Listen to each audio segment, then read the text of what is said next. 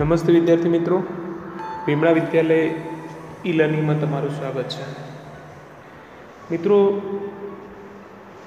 આપણે અત્યારે ભણી રહ્યા છીએ બીએસએમ થ્રી સીસી ત્રણસો ત્રણ, સમાયોજન મનોવિજ્ઞાન, એટલે કે સાયકોલોજી ઓફ એડજસ્ટમેન્ટ મિત્રો, એમાં આપણે એક યુનિટ પૂરો કરી ચૂક્યા છીએ અને હાલ બીજો યુનિટ ચાલી રહ્યો છે. બીજા યુનિટનું મિત્રો આ જે લેક્ચર છે, એ લેક્ચર ત્રણ છે. પહેલાં લેક્ચરમાં આપણે ભણ્યા હતા ઇન્ટ્રોડક્શન પછી બીજા મુદ્દાઓ જે biological perspective on child development પછી psycho analytical perspective on child development social cognitive perspective on child development humanistic perspective on child development આ મુદ્દાઓ શું છે, એ મેં તમને સમજાવ્યો હતો. મિત્રો, મુદ્દા હજુ ભણવાના બાકી છે.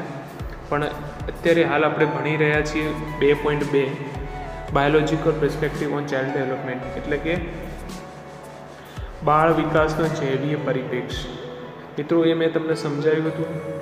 પછી બાળ વિકાસના જૈવીય પરિપ્રેક્ષ શું છે એ બીજા લેક્ચરમાં આપણે ચર્ચા કરી હતી.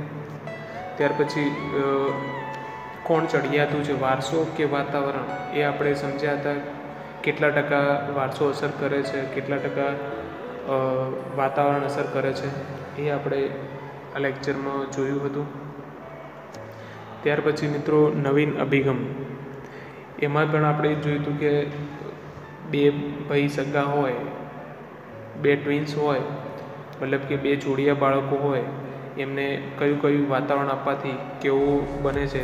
એક, બે જ સગી, એક મા બાપના બે સંતાનો હોય. હવે એકને સારું વાતાવરણ, સારું શિક્ષણ મળે તો એ વકીલ બને છે. બીજાને અલગ રીતે શિક્ષણ આપવા મળે મળે તો એ પ્રોફેસર બને છે. ચોર, પોલીસ, આ બધી ઘટનાઓ કે આપણે જોઈએ છીએ સમાજમાં. તો આપણે એમાં આ જોયું હતું. ત્યાર પછી આપણે જીવનને લાગુ પાડવું. એટલે કે આપણે જે કરવું હોય એ આપણે કઈ રીતે કરી શકીએ? એમાં શું શું આપણા જીવનમાં ઉતાર ચઢાવ આવે છે, એમાં આપણે કઈ રીતે પહોંચી વળવું? અને એમાં આપણે સમાજ અને આપણા કુટુંબના બંનેના વચ્ચે જે અપેક્ષાઓ છે, એમાં આપણે કેવી રીતે ફસાઈએ છીએ, કેવી રીતે આપણે આપણા જીવનનો વિકાસ કરવામાં આપણને મુશ્કેલીઓ પડે છે, સંઘર્ષો થાય છે, એ આપણે આમાં જોયું હતું. અને આપણે શું કરવું? એ આપણે કઈ રીતે નક્કી કરવું? એ આપણે આમાં જોયું હતું. ત્યારબાદ મિત્રો આપણે જોયું હતું કે બાળ વિકાસનો જે મનોગત્યાત્મક પરિપ્રેક્ષ્ય છે, એમાં આપણે છેલ્લે મેં તમને સમજાવ્યું હતું કે સિગમન ફ્રોઈડ સિગમન ફ્રોઈડે જે સિદ્ધાંત આપ્યો છે, ઈડ ઈગો અને સુપર ઈગો, એના દ્વારા આપણે સમજી શકીએ કે વ્યક્તિના અંદર જે વ્યક્તિત્વ ઘડતરમાં આપણી ઈચ્છાઓ અને આપણા સંઘર્ષો, આપણી વ્યગ્રતાઓ કઈ રીતે એનો ભાગ ભજવે છે? મનોગત્યાત્મકનો જે સિદ્ધાંત છે, મનોગત્યાત્મક એનો જે અર્થ આપણે જોયો હતો કે મનોગત્યાત્મક સિદ્ધાંત, સંબંધિત સિદ્ધાંતોનું એવું જૂથ છે કે જે વાત, માનવ વર્તનને વ્યક્તિના પ્રેરક બળો જેવા કે ઈચ્છાઓ, વ્યગ્રતા અને સંઘર્ષો, બચાવોને ગત્યાત્મક કે આંતરક્રિયાના સ્વરૂપમાં નિહાળે છે. એટલે કે આપણી ઈચ્છાઓ, વ્યગ્રતાઓ અને સંઘર્ષો આપણા, આપણી જે આપણો જે સ્વભાવ છે, એમાં કઈ રીતે અંતરક્રિયા કરે છે, કેવી રીતે જવાબદાર બને છે, એ આપણે જોયું હતું. મિત્રો, આજે આ લેક્ચરમાં આપણે ભણીશું ઈ, ઈગો અને સુપર ઈગો. એટલે કે તમે બીએસએમ વનમાં ભણ્યા હતા મનોવિજ્ઞાનના પરિચયમાં કે માનવ માનવ વિશ્લેષણ વાત તમે એનો બેઝિક ઇન્ફોર્મેશન લીધી હશે કે એ કોને આપ્યો હતો અને એમાં શું છે? એમાં તમે ઈડ ઇગો સુપર ઇગો પછી હિમશિલા વિશે થોડુંક જાણ્યું હશે. અને જે મિત્રોએ અગિયારમાં કે બારમા ધોરણમાં મનોવિજ્ઞાન ભણ્યા છે એમને બી આ થોડોક ખ્યાલ હશે જ. તો મિત્રો આજે આપણે આજે જોઈએ છીએ કે ફ્રોઈડનો વ્યક્તિત્વનો ખ્યાલ. મિત્રો, સિગમન ફ્રોઈડ એ ખૂબ જ મહાન મનોવૈજ્ઞાનિક થઈ ગયા. મિત્રો, એ ફિઝિશિયન હતા, ડૉક્ટર હતા અને જે વ્યક્તિઓ માનસિક રીતે બીમાર હોય એમનું, એમની દવા કરતાં કરતાં એમને આ ખ્યાલ આવ્યો કે આ વર્તન થાય છે તો વર્તન પાછળ શું છે? કેમ આવું વર્તન કરે છે? એમાં એમને ખૂબ જ ઊંડા અભ્યાસો કર્યા. પ્રયોગો કર્યા અને પરિણામે આ સિદ્ધાંત એમને આપ્યો હતો. ફ્રોઈડે ઓગણીસો ને તેત્રીસમાં માનસિક જીવનને હિમશિલા સાથે સરખાવ્યું હતું. આપણી મોટાભાગની માનસિક શક્તિ અચેતન છે. ચેતન અને અચેતન શબ્દો ફ્રોઈડનું પ્રદાન છે. મિત્રો, એક એક શબ્દને સમજવાનો પ્રયત્ન કરજો. હું કોશિશ કરીશ કે તમને સરળ ભાષામાં સમજાવું. આપણી મોટાભાગની માનસિક શક્તિ અચેતન છે. મિત્રો, અચેતનનો અર્થ થાય છે જે ચેતન નથી. પહેલાં તો ચેતન એટલે શું? મિત્રો, ચેતન એટલે જે આપણે, જેનાથી આપણે અવેર છીએ. મતલબ આપણે સંપૂર્ણ આપણે ભાનમાં જે ક્રિયાઓ કરીએ છીએ, ખાવાનું, પીવાનું હરવાનું, ફરવાનું, હસવું, રડવું, જે પણ ક્રિયાઓ આપણે ભાનમાં કરીએ છીએ, એને ચેતન અવસ્થા કહેવાય, કે જે તમને ખબર છે કે તમે શું કરી રહ્યા છો. એના વિરોધમાં અચેતન. અચેતન એટલે એવી પ્રક્રિયાઓ છે કે જે ચેતન નથી, મતલબ કે જેનાથી તમને તમને બિલકુલ કોઈ વસ્તુનો ખ્યાલ જ નથી. એ આપણે સમજવું હોય તો ઊંઘને સમજી જાય જ્યારે સુધી તમે જાગો છો ત્યાર સુધી તમને ખબર છે કે પંખો ફરે છે, ટ્યુબ ચાલુ છે, ટીવી ચાલુ છે, તમારે આજુબાજુ શું પડ્યું છે, બધું જ. પણ જ્યારે તમે ઊંઘી જાઓ છો, ત્યારે તમને કશું જ, કોઈ જ ખબર નથી હોતું કે તમારી આસપાસ શું થઈ રહ્યું છે. તમારી આજુબાજુ તમારા રૂમમાં કોઈ આવે, કોઈ જાય, પંખો લાઇટ બી લાઇટ બંધ કરે, પછી ટીવી તમારા મમ્મી આવીને ઓફ કરી જાય પછી તમને તમને ઓઢવાનું આપે કે જે તે તમારી સાથે થાય છે. મતલબ તમને એ બિલકુલ ખબર જ નથી હોતી જે ક્રિયાઓને એને અચેતન કહેવાય. મતલબ જેનાથી તમે અવેર નથી, ભાનમાં નથી, એ બધી જ ક્રિયાઓ બધી અચેતનમાં થતી હોય છે. તો ચેતન અને અચેતન, મિત્રો, આ બે શબ્દો ફ્રોઈડનું પ્રદાન છે. ફ્રોઈડ વ્યક્તિત્વને સમજવા સમજાવવા ચેતન અને અચેતન મનની વાત કહે છે. ફ્રોઈડના મતે હિમશિલાની ટોચનો પાણી હિમશિલાની ટોચનો પાણીની ઉપર દેખાતો ભાગ ચેતન મન છે. જ્યારે પાણીની અંદર રહેલો વિશાળ નવ દશાંશ ભાગ અચેતન મન છે. મિત્રો, અને તમે એવી રીતે સમજી શકો કે માની લો કે તમે એક પાણીનો ગ્લાસ લો અને એમાં એક બરફનો ટુકડો નાખો. તો એમાંથી બરફનો ટુકડો એ ડૂબશે નહીં, તરશે.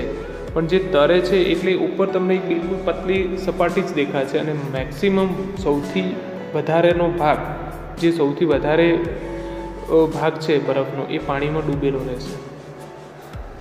એટલે હિમશિલા સાથે સરખાયું છે આપણા મનને. એટલે કે ફ્રોઈડ એવું કહેવા માગે છે કે જે ઉપર દેખાય છે જે બરફ તમને ઉપર તમે ટચ કરો તમને હાર્ડ ફીલ થશે.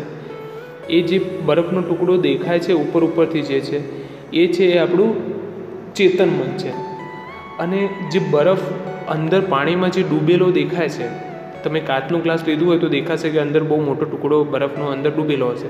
તો એ જે અંદર ડૂબેલો જે ભાગ દેખાય છે, એ અચેતન મન છે.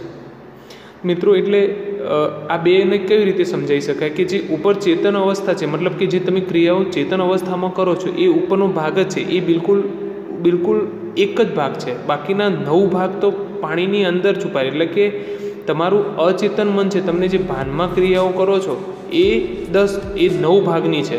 કે જે તમે, તમને એ નવ ભાગની ક્રિયાઓ એવી છે કે જેને તમને બિલકુલ ભાન નથી. અને એક ભાગની ક્રિયા એવી છે કે જેમાં તમે ભાનમાં હોવો છો. તો ફ્રોઈડ માનતો હતો કે અચેતન મન એવું સંગ્રહાલય છે જેમાં ઈચ્છાઓ કે જિંદગીની ધમકીરૂપ બાબતો સંગ્રહાયેલી છે. મિત્રો, સમજો, એક એક લાઈનને બહુ જ મહત્ત્વ આપેલું છે. બહુ જ સમજવાનો પ્રયત્ન કરજો. ફ્રોઈડ માનતો હતો કે અચેતન મન એવું સંગ્રહાલય છે જેમાં ઈચ્છાઓ કે જિંદગીની ધમકીરૂપ બાબતો સંગ્રહાયેલી છે. મિત્રો એટલે કે જે આપણું અચેતન મન છે, તમે વિચાર કરો કે તમે જ્યારે ભાનમાં હો છો, ત્યારે તમે જે ક્રિયાઓ કરો છો કે તમે કંઈક લખો છો, કે કંઈક ખાઈ રહ્યા છો, કે તમે કંઈક જમવાનું બનાવી રહ્યા છો, કે કંઈ પણ ક્રિયાઓ કરી રહ્યા છો, તો એમાં જે તમે કરી રહ્યા છો એ દેખાય છે, એ બિલકુલ સિમ્પલ છે, દેખી શકાય છે. પણ મિત્રો, આ બધી બાબતો તમારા મનમાં જે ચાલી રહ્યું છે એને એ દેખી નથી શકાતો. મતલબ અચેતનમાં તમે ઘણું બધું તમારા મગજમાં ભરેલું છે. તમે જ્યારે ઊંઘો છો, ત્યારે તમને જે સપનાઓ આવે છે, એમાં કેટલી બધી, કેટલા બધા અલગ અલગ પ્રકારના સપનાઓ, વિચારો, ઘણી બધી આપણી ઈચ્છાઓ જે આપણે નથી કરી શકતા. માની લો કે તમે બાઇક ચલાવો છો અને બાઇક ચલાવો છો તો એ દેખાય છે. પણ સાથે સાથે તમારા મનની અંદર ગાડીના, પ્લેનના અલગ અલગ ઘણા બધા વિચારો ચાલી રહ્યા છે કે આ આ કરી દઉં, આ કરી દઉં. પણ એ તમે કરી નથી શકતા. મતલબ એ બધું અચેતન મનમાં છુપેલું છે. તમે ક્રિયા કરો છો ચેતન અવસ્થામાં તો ફક્ત બાઇક ચલાવી રહ્યા છો. બસ એટલી જ તમને ખબર છે. બાકી અચેતન મનમાં તમારી ઈચ્છાઓનો જે ભંડાર છે, એ અચેતન મનમાં છુપાયેલો છે.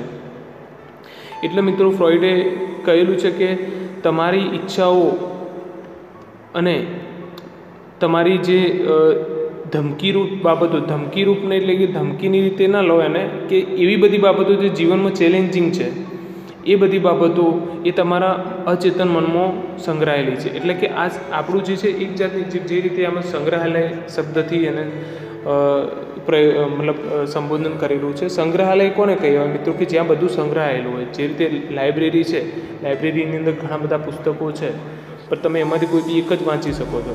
એવી રીતે આપણું મગજ જે છે એ એક સંગ્રહાલય છે. મગજની અંદર જે અચેતન ભાગ છે, એ આપણું એક સંગ્રહાલય છે. જેમાં હજારો, લાખોની સંખ્યામાં આપણા વિચારો પડેલા છે, આપણી ઈચ્છાઓ અંદર પડેલી છે. જે ઈચ્છાઓ કે વારસાઓનું આપણે દમન કરીએ છીએ, તે અચેતન મનમાં ધકેલાઈ જાય છે. મતલબ મિત્રો, એવી બાબતો કે જે તમારે તમે તમે જે વસ્તુ પૂરી નથી કરી શકતા, જે ઈચ્છાઓ કે જે તમારા અંદર જે ભાવ છે, કે કોઈ પણ જે તમે પૂરું ના કરી શકતા મિત્રો, એ દમન થઈ જાય. મિત્રો, દમન શબ્દનો અર્થ થાય છે દબાઈ દેવું. જબરજસ્તીથી દબાઈ આપણે જે કોઈ બી વસ્તુને કરીએ, તો એને દમન કહેવાય.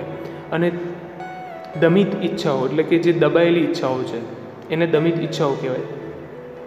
તો જે ઈચ્છાઓ કે વાતાવરણ, વારસાઓનું આપણે દમન કરીએ છીએ તે અચેતન મનમાં તકે લાવી દે છે. આમ દમિત ઈચ્છાઓ નાશ પામતી નથી, પરંતુ તક આવે, વર્તનમાં પ્રગટ થાય છે.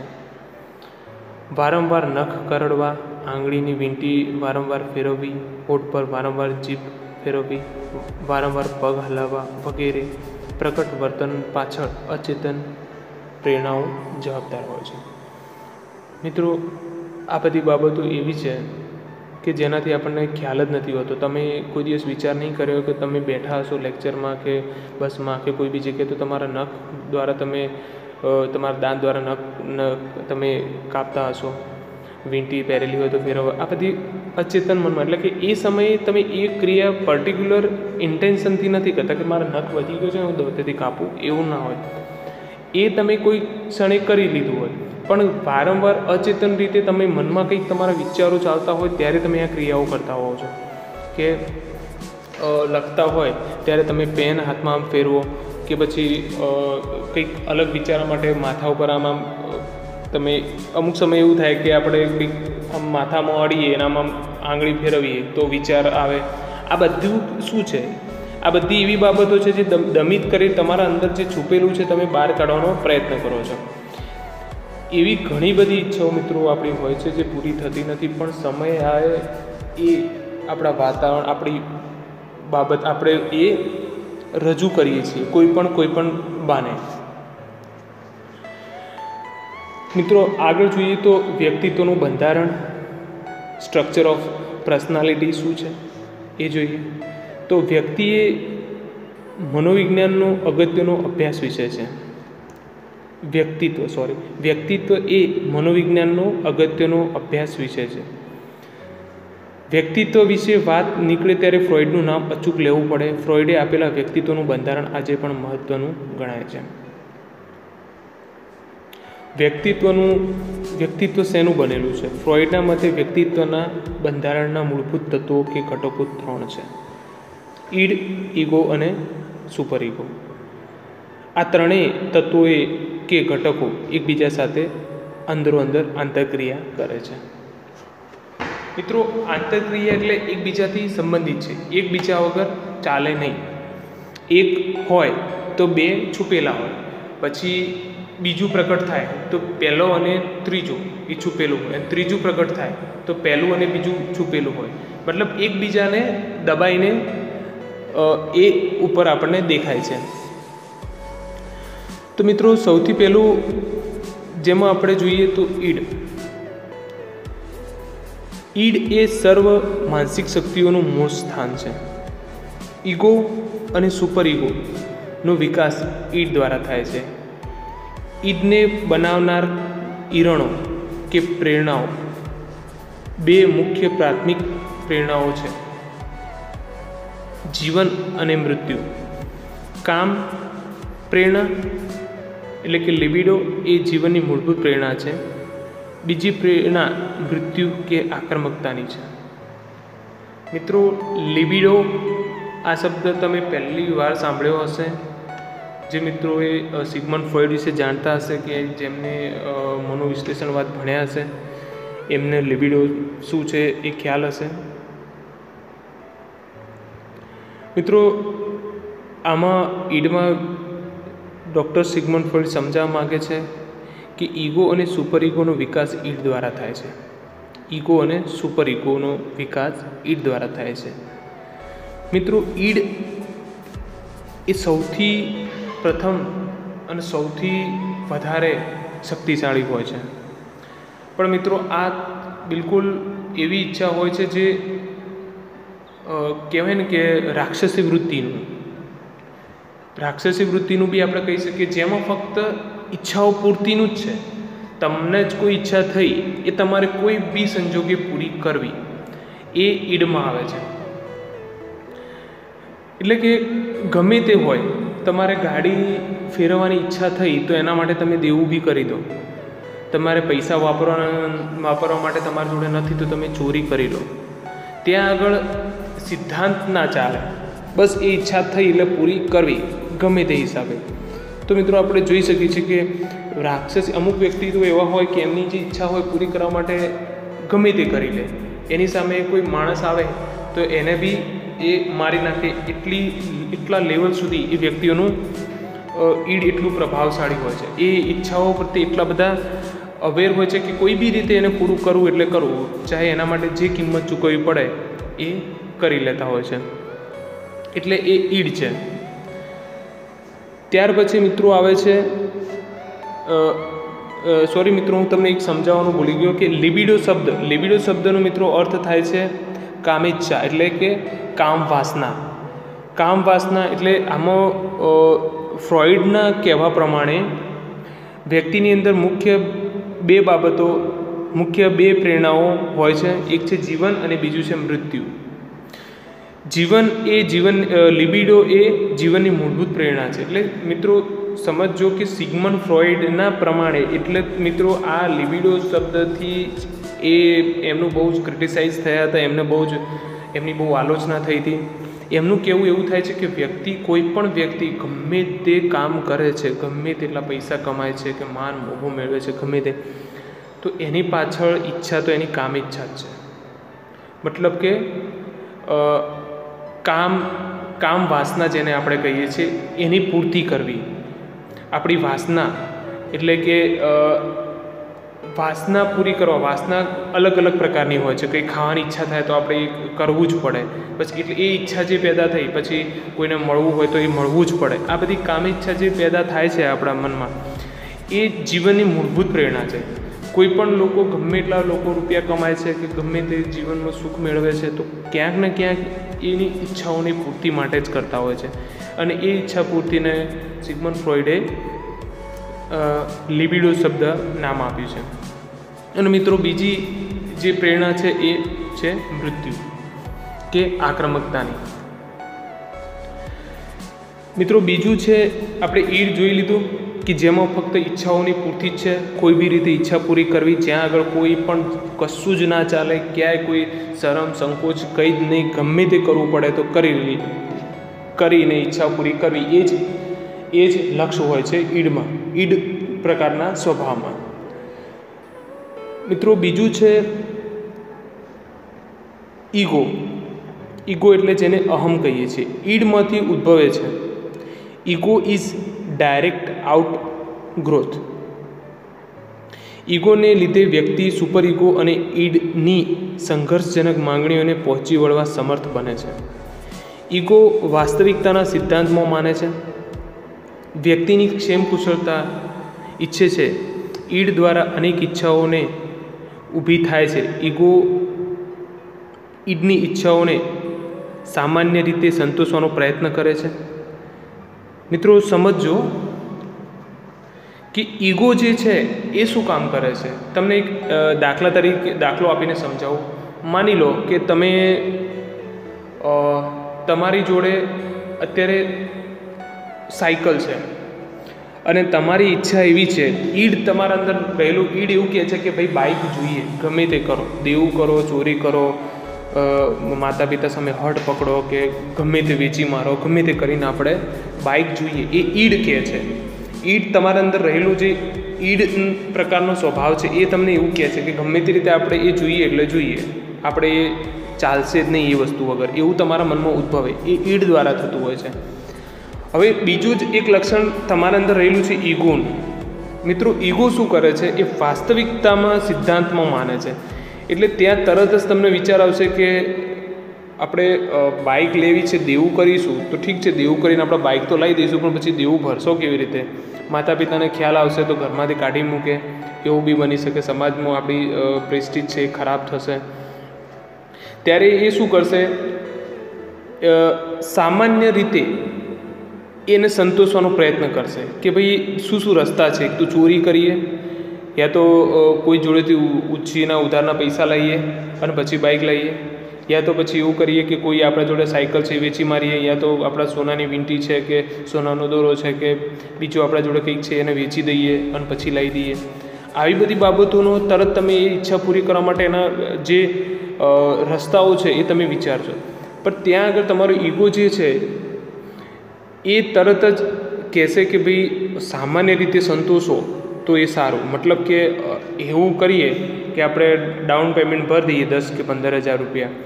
અને હપ્તેથી લાવીએ તો મંથલી બે કે ત્રણ હજાર રૂપિયા હપ્તો આવશે, તો આપણે ગમે તે સામાન્ય નોકરી કરીને એ હપ્તો ભરી શકીશું. અને પરિણામે આપણને બાઇક બી મળી જશે અને કશું આપણે ચોરી બી નહીં કરવી પડે કે કોઈનું, કોઈ મતલબ કોઈ વસ્તુ વેચવી બી નહીં પડે. અને આપણે સમાજમાં આપણે કોઈ, આપણી ઇજ્જત ખરાબ નહીં થાય કે માતા પિતા બી આપણાથી એટલો બધો વિરોધ નહીં કરે. તો એ, એક તો તમે પહેલું ઈડમાં શું થયું કે ઈચ્છાઓને ગમે તે રીતે પૂરી કરવા માટેની તમે તૈયારી બતાવો છો. ત્યાં જ, ત્યાં ને ત્યાં જ તમારો ઈગો પેદા થાય છે અને ઈગો કહે છે કે ના, આ બધું કરવાથી આ બધી પ્રોબ્લેમો ઊભી થશે. એના કરતાં આપણે સીધા રસ્તો શું છે? વાસ્તવિક રસ્તો શું છે? વાસ્તવિકતામાં હકીકત શું છે? આપણા જોડે કેટલા પૈસા છે? અને બાઇક લાવવા માટે કેટલા જરૂરી છે? તો જરૂરી જેટલા એ માઇનસ કરતાં જે બેલેન્સ પૈસા બચે છે, આપણે ક્યાંથી લાવવા, ક્યાંથી એની વ્યવસ્થા કરવી, લોન કરવી કે કોઈના જોડેથી ઉછી ના લેવા કે માતા પિતાને રિક્વેસ્ટ કરીને એમના જોડેથી લઈએ અને આપણને એમની હેલ્પથી આપણે લાવીએ તો સામાન્ય રીતે કરીશું તો આપણને કોઈ તકલીફ નહીં પડે. એવું એવું ઈગો જે છે એ એવી રીતે કામ કરશે. એવી રીતે તમને કહેશે કે ભાઈ સામાન્ય રસ્તો તમે અપનાવો. ખાલી ખોટો એવો રસ્તો અપનાવશો કે સમાજમાં ઇજ્જત ખરાબ થશે. તો એનો કોઈ મતલબ નથી. ત્યાં તમારું ઈગો કામ કરે છે. જેમ કે જાતિ ઈચ્છાઓ, ઈચ્છાઓને લગ્ન દ્વારા સંતોષ. ઈડ તો ઊંચા મકાનની આગાશી ઉપરથી ભૂસકો મારવાનું કે છોકરી સાથે ભાગી જવાનું લગ્ન કરવા પ્રેરે છે. ઈગો જણાવે છે કે ઊંચા મકાનની આગાશી પરથી નીચે ભૂસકો મારીએ તો હાડકાં ખોખરા થાય, મૃત્યુ થાય. સગીર વયની છોકરી સાથે ભાગી જઈએ તો જેલ જવાનું થાય. ઈગો પરિણામોનો વિચાર કરે છે. જરૂર લાગે તો જરૂરિયાતને સંતોષવામાં રાહ જોવાનું સૂચવે છે. ટૂંકમાં મિત્રો, ઈગો જે છે એ તમારા મિત્ર તરીકે કામ કરે છે સારા મિત્ર તરીકે, કે તમને જે ઈચ્છાઓ પેદા થાય છે, એને સંતોષવા માટે શાંતિથી રસ્તો શું છે, શાંતિપ્રિય રસ્તો શું છે, કે થોડુંક વેઇટ કરી લઈએ, એ તમને સૂચવે, મતલબ તમને સારી સલાહ આપે છે, ઈગો. આમાં એવું સમજાયું છે કે કોઈ સાથે તમને પ્રેમ થયો તો એવું થાય કે આપણે એની સાથે ભાગી જઈએ. ઘણા સંજોગોમાં એવું થાય છે કે અત્યારે ઉતાવળમાં ડિસિઝન લઈ લેતા હોય છે અને પરિણામે ઉંમર એટલી હોતી નથી લવ મેરેજ કરવાની અને એ કરી લેતા હોય મતલબ કરવા માટેની તૈયારી બતાવે છે, ભાગી જતા હોય છે. પરિણામે મિત્રો આપણે આવા કિસ્સાઓ, ઘણા કિસ્સાઓ આપણે સમાજમાં જોયા છે અને જોતા રહીએ છીએ. તો આ બધી બાબતો એવું કહે છે કે અગર પ્રેમ થયો છે, ઠીક છે, લગ્ન કરવા છે, તો ઈગો એવું, ઈડ એવું કહે છે કે લઈને ભાગી જઈએ.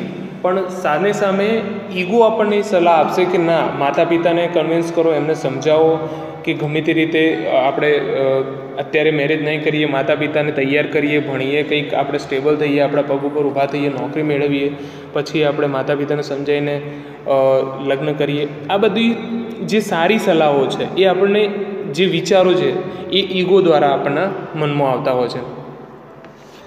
ત્યાર પછી મિત્રો, જે ત્રીજો છે મુદ્દો, એ મિત્રો હવે આપણે હવે આનાથી આગળના લેક્ચરમાં સમજીશું. તો મિત્રો, આ લેક્ચરમાં આપણે જોયું કે ઈડ અને ઈગો શું છે? બાળ વિકાસના મનોગત્યાત્મક પરિપ્રેક્ષ્યમાં જે આપણે આ ડૉક્ટર સિગમન ફોઇડ દ્વારા જે આપવામાં આવ્યું છે કે ઈડ, ઈગો અને સુપર ઈગો શું છે એ આપણે આમાં જોયું. એમાંથી બે આપણે આ લેક્ચરમાં જોયા. અને લેક્ચરની લિમિટના કારણે આપણે આ લેક્ચર અહીંયા જ સમાપ્ત કરીએ છીએ. અને આગળના લેક્ચરમાં આપણે જોઈશું કે સુપર ઈગો શું છે અને સુપર ઈગો આપણને કેવી રીતે ઉપયોગી થાય છે. સુપર ઈગો આપણને શું શીખવે છે. આ તમામ બાબતો આપણે હવે નેક્સ્ટ લેક્ચરમાં મિત્રો ભણીશું. ત્યારબાદ મિત્રો આપણે ત્યાં જ જોઈશું કે વ્યક્તિત્વના વ્યક્તિત્વ ગત્યાત્મકતા શું છે? અ, એટલે કે એન્ઝાયટી શું છે? રિયલ એન્ઝાયટી વિકૃત એટલે કે ન્યુરોટિક એન્ઝાયટી શું છે? નૈતિક વ્યગ્રતા શું છે? બચાવ પ્રવૃત્તિઓ. આ બધા મુદ્દાઓની ચર્ચા આપણે હવે આગળના લેક્ચરમાં મિત્રો કરીશું. તો મિત્રો આશા રાખું છું કે મેં તમને જે માહિતી આપી છે, જે સમજાવવાનો પ્રયત્ન કર્યો છે, એ તમે સમજ્યા હશો. મિત્રો, સિગમન ફ્રોઈડ એક ખૂબ જ સુપ્રસિદ્ધ પર્સનાલિટી હતા અને એમને જે સમજાવવાનો પ્રયત્ન કર્યો છે, તો એમની ક્રિટિસાઇઝ પણ એમને મતલબ એમની આલોચના પણ એટલી થઈ છે.